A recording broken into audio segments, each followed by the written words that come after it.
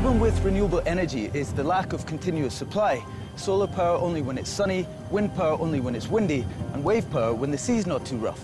I'm Russell Beard and I've come to South Spain to visit Gemasolar, the first solar tower power station that can produce electricity 24 hours a day. But in order to get a real sense of the scale of this place, I need to get a little bit higher. Samuel!